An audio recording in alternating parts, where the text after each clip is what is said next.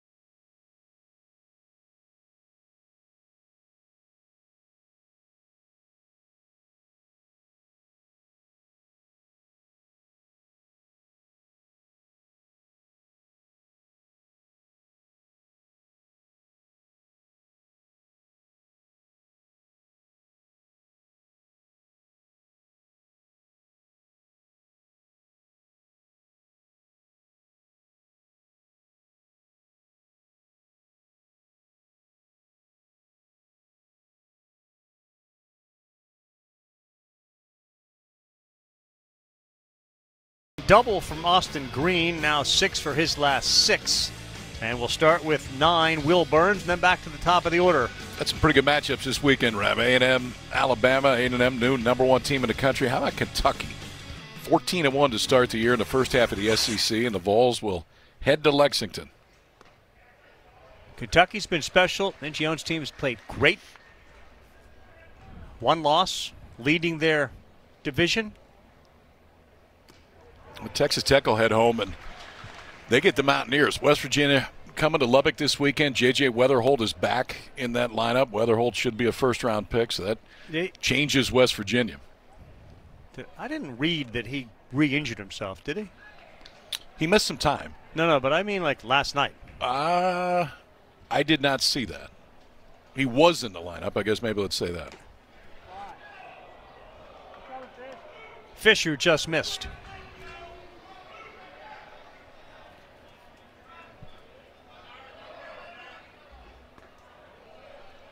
I have not seen word either. Travis Bazzana got a hit with a pitch yesterday. Had a soft cast onto the dugout at the back. One hops out and gives the Red Raiders the lead back.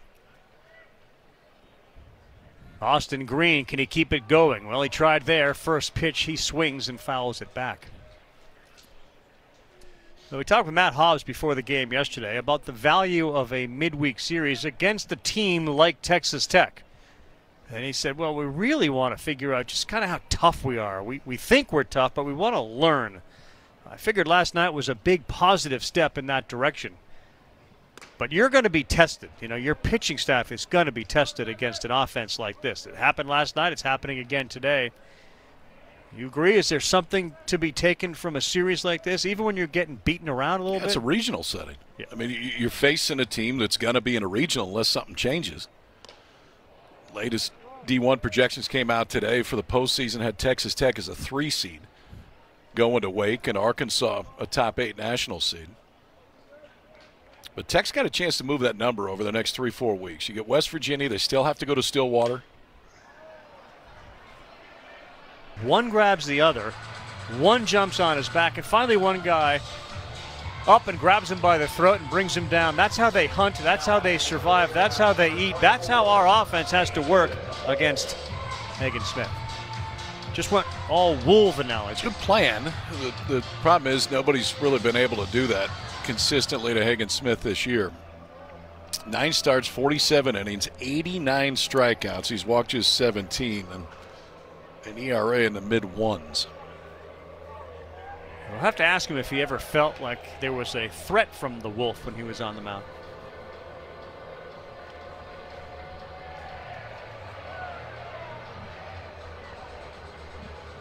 Matt Gardner out, the pitching coach at Texas Tech, and the longest outing of the year for Hudson Parker was two and a third. That was his last time out. In that one, went 57 pitches, so pitch count still a little bit below that right now. Only given up two hits, just both have been solo home runs.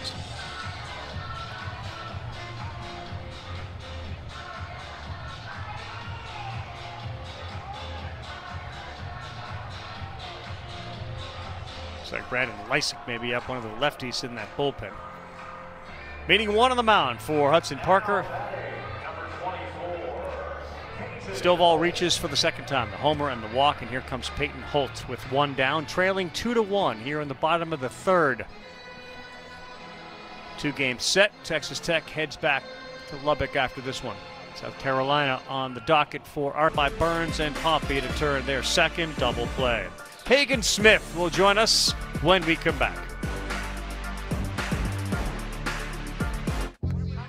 So outrage is all the rage.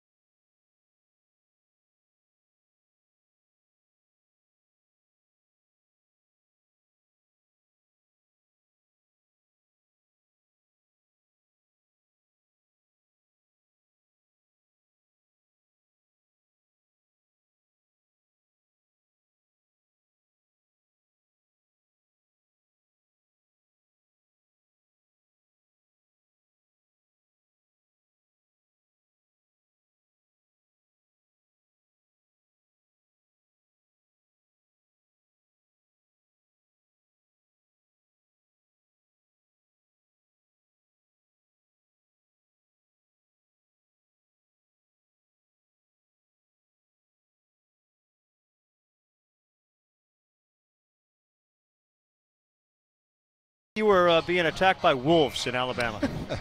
no, no. I mean, I mean, they're a good offense. They had a really good approach all weekend. Uh, they didn't really swing anything in the dirt. So I mean, they just got on top of our fastball, and I think they played really good. So you threw a lot more cutters in that game than sliders, right? And and that was a different approach. Talk, talk about your development here as we stare out at the the Hunt Family Development Center and all the tools you have. Give us a little peek because we're going to be talking about you draft day, about the way you've grown as both a pitcher and a person. Yeah, it's awesome here. I mean, when I came here as a freshman, I was tiny. Uh, I mean, I wasn't tiny, but came a long way. You know, just getting in the weight room. Coach uh, Coach Bell came in here last year and kind of got after it. I mean, came down, and set it with the plan, and we just kind of executed it. It was awesome.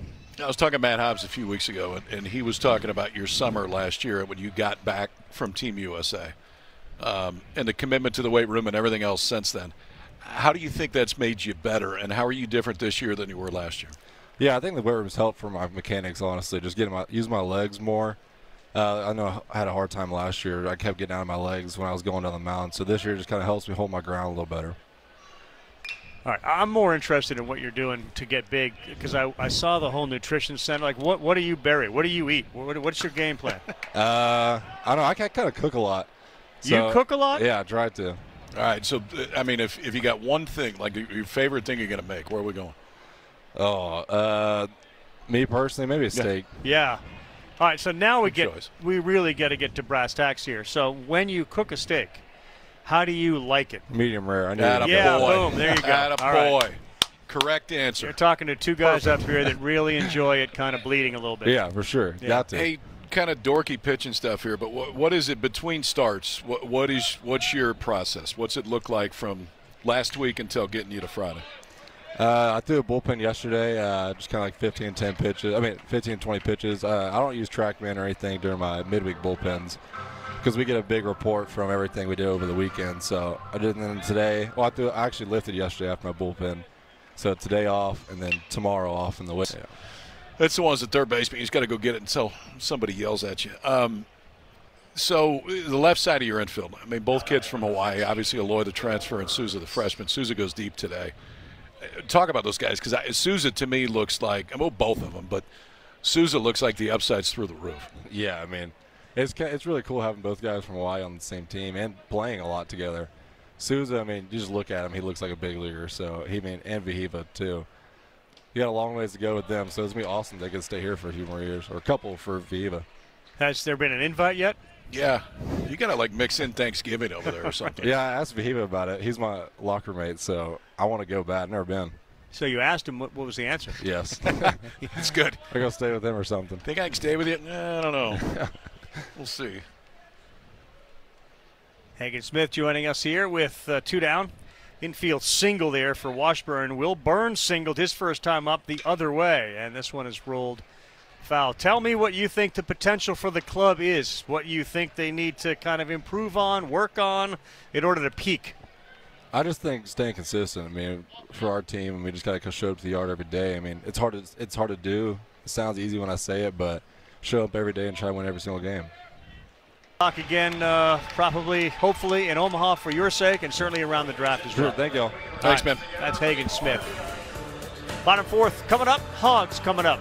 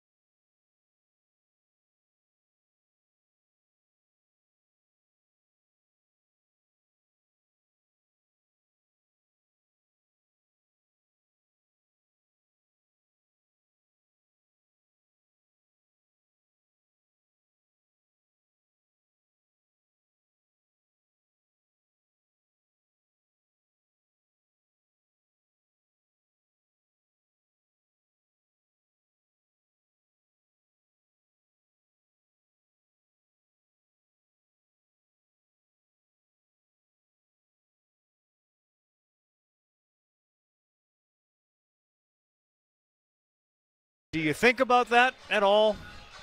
Omaha, homers. Man, yeah, it's it's a good environment. You know, it's uh back in 16 and uh, 14. It's a good. environment.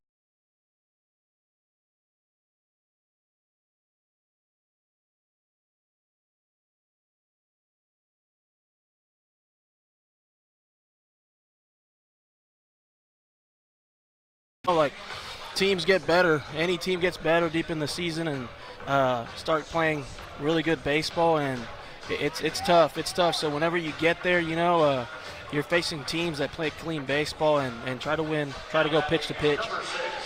So, Eric, for you, you get a chance to play pro ball afterwards, then make the decision to, to come back, and, and you've you've been on the coaching side here for, for a few years now. What's that transition like? How's it how's it been? What have you enjoyed? Maybe what's been difficult? I think uh, the the difficult part was, you know, trying to start coaching and and uh, hang them up. But uh, other than that, it, everything's been fun. Honestly, uh, trying to be around the guys and and share experiences and stuff like that, and it, it's it's uh it's pretty special. Brendan Lysick, the new pitcher for Texas Tech. Seems to be an offense, we saw it last night, that can put up a bunch of runs. When you look at a team relative to what you guys accomplished years ago and getting to Omaha, what are some of the things that you think has to happen in order for that to happen for this group? I think it's just pretty much, uh, like I said, just learning how to go pitch to pitch. You mm-hmm. know, learning how to go pitch to pitch and enjoying the process, and the outcome will be there. Sometimes uh, any team can get focused on the outcome. Uh, but if you focus on the process, the outcome will be there. Eric Gutierrez, the director of operations. If there are people watching, may wonder what does the director of operations do? What are your responsibilities? a lot of operation here and there, man. It's a uh, uh, travel, itinerary, hotel, any, anything you can think of outside of outside of the coaching part. You know, it's a uh, that's what the special op, ops is doing. Are, you, are, you, like the player concierge? Like, are you a guy that takes care of these things? Man, you know they take care of me. Does that no. mean you get you get the best room? Uh, Does that work out that way to where you, you can just get the suite set aside every time? You can, you can, you know. But I, I try Perks. to just get a regular room and uh, and keep it simple. Makes a tough play. it's it's in it. It's a it's Wally's world. It's adventure up there, man. Not comfortable when it goes up in the air. It doesn't matter how deep it is. You've seen one dropped just outside of the infield dirt. Woodcocks maybe thought this ball was going to go a little bit further than it did too. He ended up about on a dead spread, having to come in and catch it. So leadoff walk, getting hit by pitch. Now two flyouts. Lovich with two down. And again, Arkansas has been terrific with two outs, almost a 300 team batting average. McLaughlin is out there at second base, and that's a good one in there with a slider to get ahead 0 1.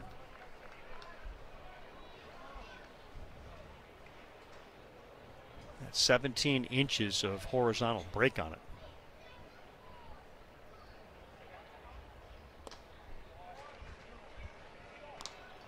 Pulled the fastball. Initially, Lysick, first two guys, the walk, the hit batter, like the body language was kind of heading sideways. And then all of a sudden, he found it and got Souza huge out and Wagner. And now, as he got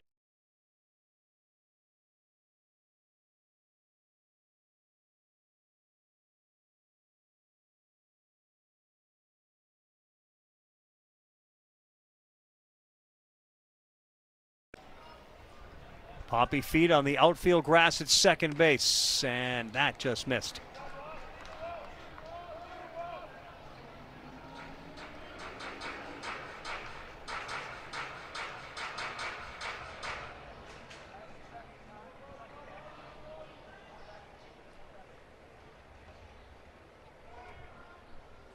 Isaac locks in.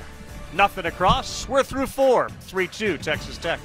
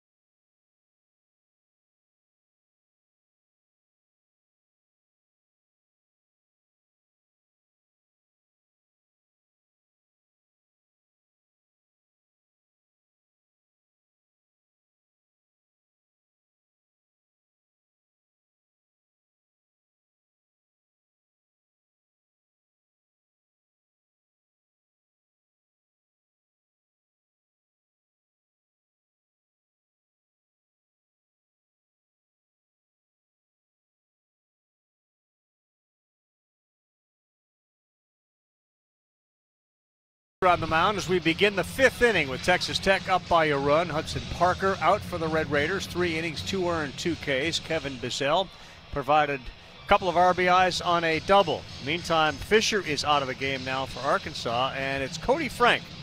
He'll be making his 15th appearance. He had been pretty solid his last outing against Alabama on the 14th. Little bumpy, one and a third. He gave up two hits, two earned runs. So the righty will take the baseball and try to keep this score right where it is at three to two.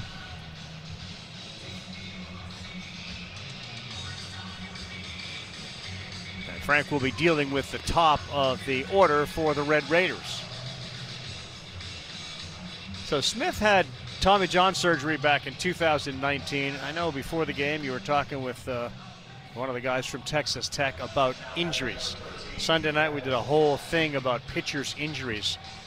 It used to be you have one Tommy John and you're done. Now it feels like there's almost this concept if you have one, there's a real good chance if it's early in your career, you're going to have another one. It doesn't guarantee that that first one works or lasts. There's a lot of guys that have had two.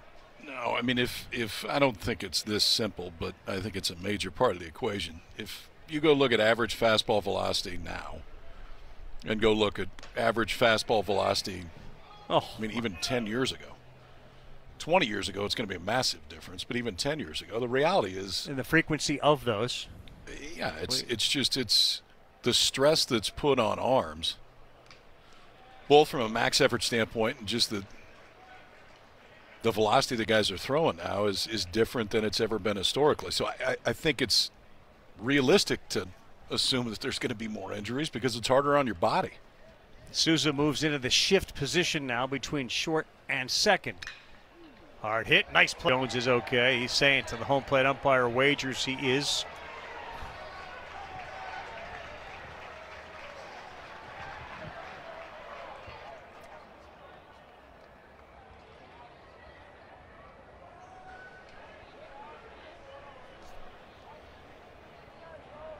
You have got to go through the questions, the protocol, and everything when something like that happens.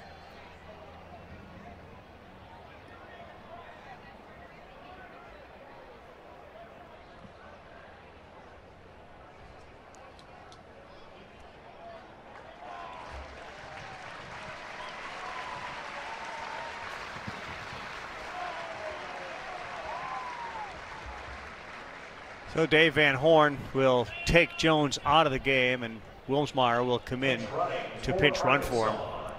And again, on the surface, appears like he's okay, but given the situation and the importance of Jones, there's no reason to No. risk it. Not in a midweek game right there, right? That's a tough spot as a hitter, too, because 3 0, I mean, you're dialed up. If he's got the green light, he's dialed up to go after a fastball, and tough to get back into kind of a defensive position. Seemed to be moving around all right, but no reason to push it. Now batting for the Razorbacks, number 44, Parker Rowland.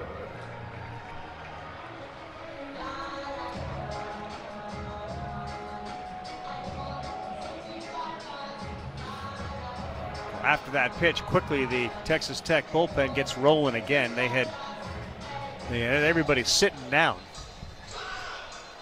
But Cole Case drills Jones in the head with a pitch. Uh, you know, Tim Tadlock was having a couple of words with the home plate umpire, perhaps to let him know what he's trying to do.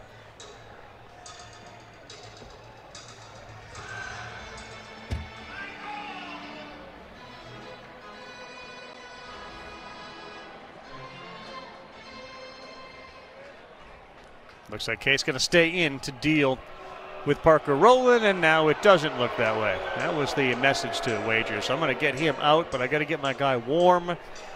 We don't want any more of that.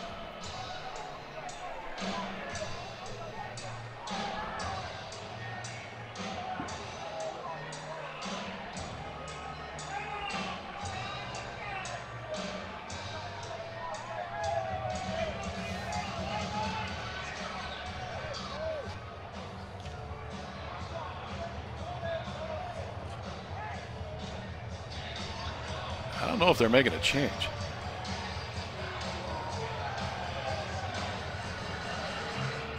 Yes, they are. It's kind of a pitching change block right there. Stopped Huffling mid trot in from left field bullpen, and then ultimately Mark Wager's own plate umpire said, "Come on in." I'm quite sure exactly what that back and forth was. But the left-hander's coming in. Should we take a break? Yeah, Yeah, I think we've had we'll do that. Pay some bills. protocol. I like where you're at. 606 here in Arkansas. Timeout on the field.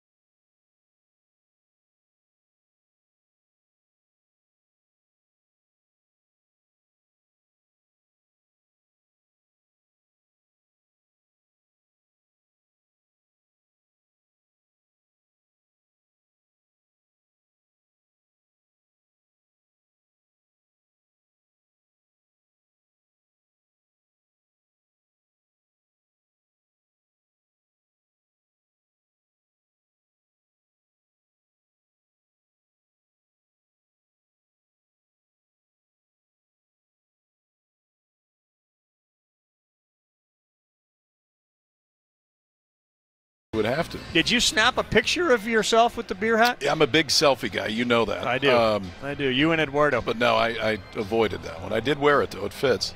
You did you look in the mirror? I did. Yeah, I thought so. Just kind of walked around for a while. Pump yourself up a little bit. man. You look Arkansas hospitality, give it up for them. They uh, they rally. Talk about rally caps. They rally with two beer hats last night. And it will be making the jaunt home to Omaha and uh, Florida, and will absolutely be worn at every opportunity. Just put on and let other people look and be jealous. Don't say a word. Yep. No explanation needed. If you know, you know. There's there's one right there behind him. Yep. Talking about that beer hat right behind you. Grab it. Grab the hat. He will when they're loaded. We got one on right now.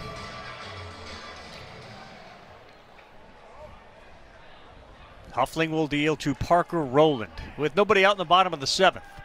Words From the pitcher over to the bench, Texas Tech, Stone Hewlett. Not sure what that was about or why it was necessary, but Hewlett gets the strikeout. Arkansas sweeps the two-game set. They win it today, five to four. Yesterday was a comeback, and Arkansas's bullpen that kept him in it. Today it was a little bit more workmanlike, more like you've seen Arkansas win a lot of games this year. Two one-run games between two teams that are pretty familiar with the postseason. Texas Tech with some work to do to ensure that they're in. They would be as of now, but Arkansas just strengthens that resume the last two days. Now 32 and 5 overall, 12 and 3 in the SEC as they head to South Carolina this weekend. And they have now won 25 straight games here at Baum Walker. 25 in a row. They add to the record at this field for consecutive games in a row that they have won.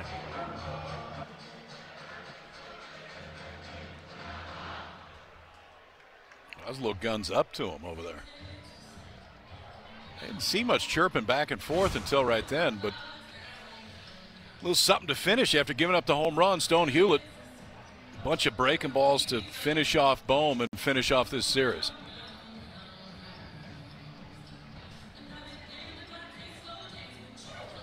Good game for Peyton Stovall and the rest of the Hogs. They hang on and win it 5 4. We hope to talk with him when we come back.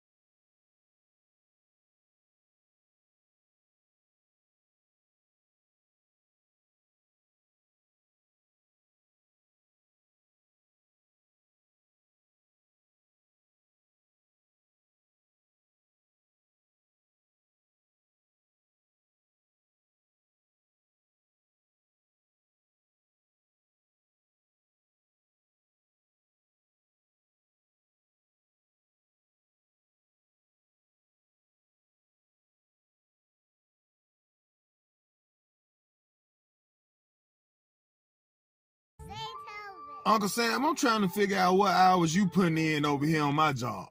Man, you clocking in and doing real labor. I'm getting tired every time my check come out, boy. You got your cut coming out like, here, yeah, this the little cut going over here to Uncle Sam. What the fuck? Take my tax dollars and then you want to send them overseas to another motherfucker who don't even give a damn about the country. Then you got all these illegals coming in and they able to get twelve thousand a month. Twelve thousand a month? Man, man, I ain't making twelve thousand a month. I need to get that bread back, man. Y'all need to cut more than what y'all cutting at tax time. I ain't lying, bro. It's some bullshit.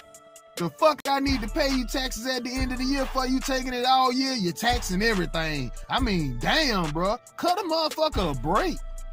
Your ass finna be messed up fooling around me, bro. I'm finna start telling you to chow ass up.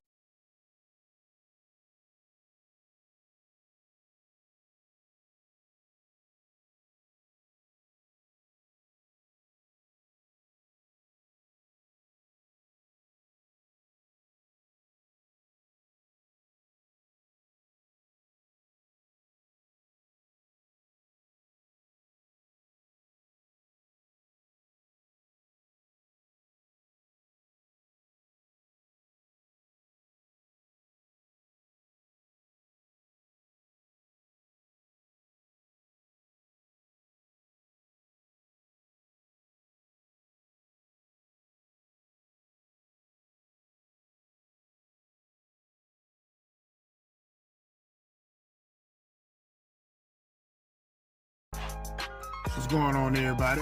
Welcome back to the 1521 corner. Look, I'm just gonna say this real quick. Man, look, don't label me no Democrat, don't label me no Republican. Don't be like T-R-U-M-P. I'm all about common sense. If you wanna sit there and talk to me and say it's more than two genders, we ain't got nothing to talk about. If you think it's cool for boys to go in women's bathroom, we ain't got nothing to talk about. If you call women cis women, we definitely ain't got nothing to talk about. If you think it's cool that men competing in women's sports, we ain't got nothing to talk about. If you think the country doing better than what they was four years ago, we definitely ain't got nothing to talk about. If you don't understand that the board border getting overrun, surely ain't got nothing to talk about. And last but not least, if you think the economy doing good right now, man, show ass up.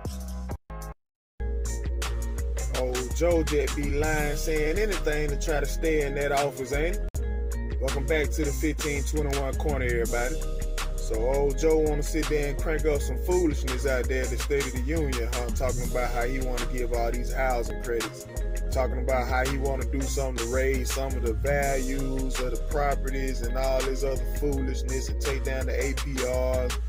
I missed them 1.3, 1.9 levels when Trump was in there. Man done created a problem want to tell you he got a solution. Man, ain't nobody falling for your bullshit, Joe. And then you want to say if we get Donald Trump in there, it's gonna mess up the progress that y'all making. Progress? Man, what progress? You talking about the progress of taking the country down the shithole? Yeah, nah, we good on that. We don't want that. Man can't even do a whole speech without mumbling and babbling and mumbling. Joe, show ass up.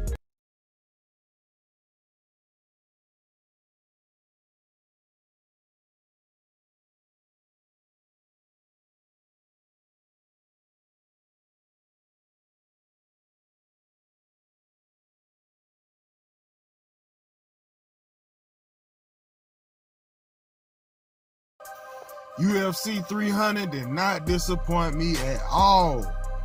Welcome back to the 1521 corner, everybody. Know what's going down when Bruce Buffer hit that. It's time! Well, I ain't gonna lie, the most exciting fight that I saw that night, boy, was that Max Holloway and Justin Gaethje. Boy, them boy bumped the whole five rounds. Then, boy, Jay, hey, goddamn Max said, hey, come on, let's get on in the middle of the ring. Let's go and duke it out these last 10 seconds. Boy, them boy got to throw them thing. Uh, uh, uh, that thing, you know, Gaethje knocked out with one second left flat on his face, boy. Boy, Alex knocked Jamal ass out in the first round. Boy, hey, he hit him in the nuts. He like, nah, nah, ref, I got it. Knockout. Oh, Old wit for that boy. Done daughter. He, you know, he kept it humble though. He wasn't talking all that shit. But man, it's some more shit that was going on, but I ain't got time to talk about it. Sit in, show ass up. What's going on, everybody? Welcome back to the 1521. What's going on, everybody? Welcome back to the 1521 corner. I've been seeing these videos with Diddy dropping these names, but I don't know how legit it is and what he doing it for. He got the little one up there shouting them out. Make sure you heard the names. Well, that's a lot of names on there. It's a lot of them that I ain't surprised that done been to the house. They even said they done been to the house. But but that boy Diddy say he ain't going down by himself, isn't it? But it's amazing though, cause some of these folks I heard on them lists he talking about was on the Epstein list that everybody ain't really trying to get out there for real. Boy, I said they fuck around and unalive him. Boy, they already he already gonna drop the dimes on everybody. Boy, Diddy say he ain't going.